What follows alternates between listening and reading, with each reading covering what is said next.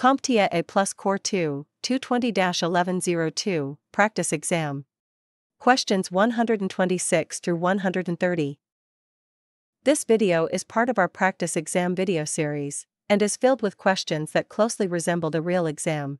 So are you prepared to test your knowledge? Great, let's begin. Question 126. A network engineer at a large company is tasked with diagnosing intermittent connectivity problems affecting internal servers. Employees are experiencing frequent disconnections and unstable network performance. Which of the following command line tools should the engineer use to gather the most comprehensive data for analysis?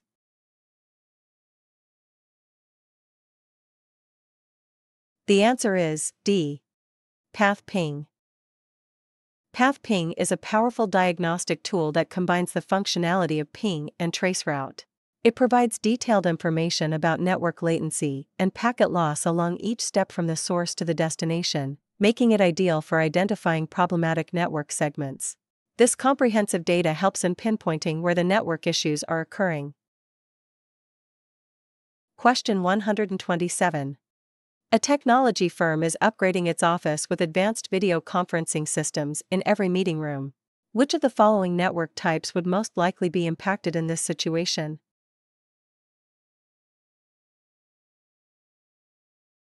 The answer is B. LAN.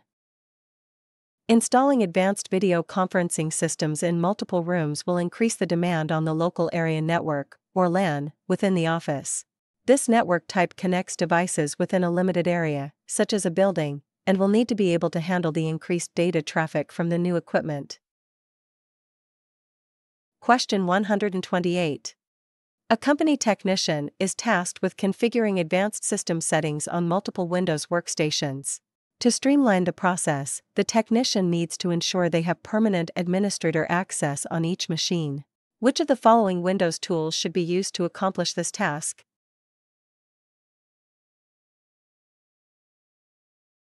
The answer is A. Local users and groups. The Local Users and Groups tool in Windows is used to manage user accounts and groups.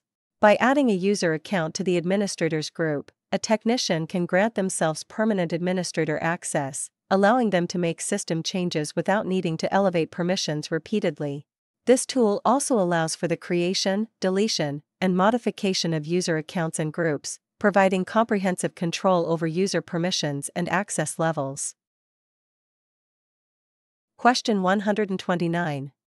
A technician is helping a user troubleshoot a problem on their Mac OS computer. To effectively assist the user, the technician needs to view the user's screen simultaneously. Which of the following default system tools can the technician use in Mac OS for this purpose?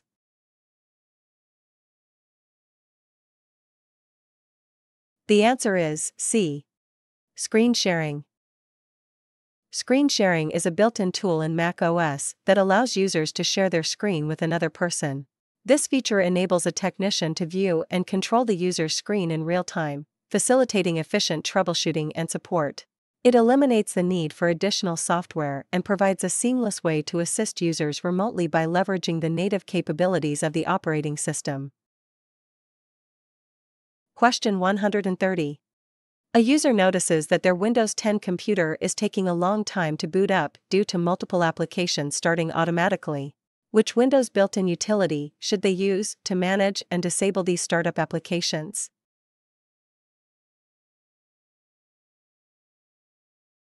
The answer is B. Task Manager. In Windows 10, the management of startup applications was moved from the System Configuration tool to the Task Manager.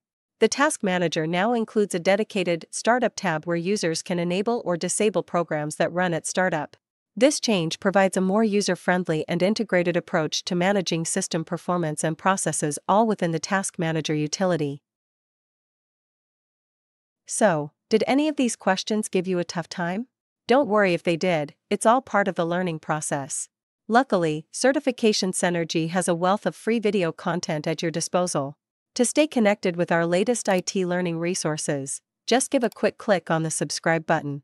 This simple action ensures you're always updated about our newest video releases.